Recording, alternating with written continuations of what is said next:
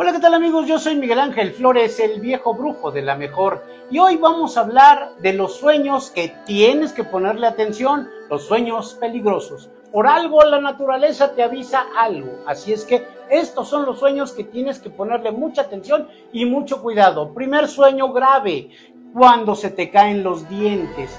Si ese sueño lo tienes y lo has tenido recurrentemente, bueno, pues ten mucho cuidado porque posiblemente venga una muerte, un divorcio, un encarcelamiento o una enfermedad grave. Tienes que tener mucho, pero mucho cuidado cuando sueñas que se te caen los dientes.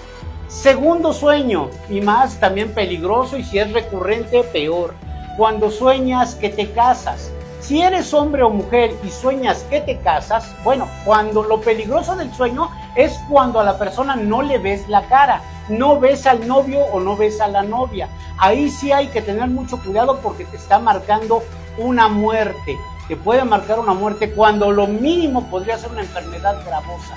Pero ese sueño sí hay que tenerle muchísimo cuidado porque cuando marca eso, ahí sí. Pero si tú sueñas al novio o a la novia y sueñas su cara, aunque no lo conozcas, no hay que ponerle mucha atención, significa cambios buenos.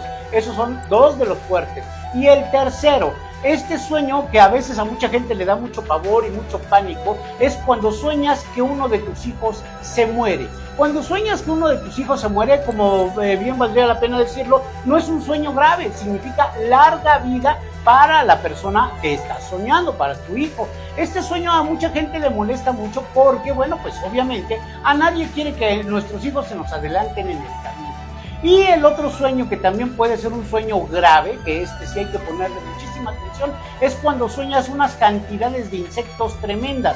Cuando sueñas garrapatas, cuando sueñas este, eh, hormigas, cuando sueñas moscas, sueñas arañas, todo ese tipo de cosas, significa que traen un chismerío en tu contra. Tienes que tener mucho cuidado y no confiar mucho en la gente que está a tu alrededor, y más si va relacionada con ratas o sapos ratas o sapos, y más si los oyes troar, oyes algún ruidito ahí, todo eso significa que hay un chisme bien bárbaro o alguien te quiere meter en un problema. Mucho cuidado con este sueño. De los sueños positivos, bueno, pues hay muchísimos que después vamos a hablar, pero ahorita por lo pronto, esos sueños, si los has tenido en alguna ocasión, tienes que tener muchísimo cuidado porque te está marcando algo de veras desagradable y muy malo. Si quieres una cita conmigo, bueno, pues marca al 664-304-6234. 664-304-6234. Me encuentras en Facebook como Mitaro23.tv. Nos vemos hasta la próxima. Esto fue El Mundo Esotérico del Viejo Brujo, aquí en La Mejor Tijuana.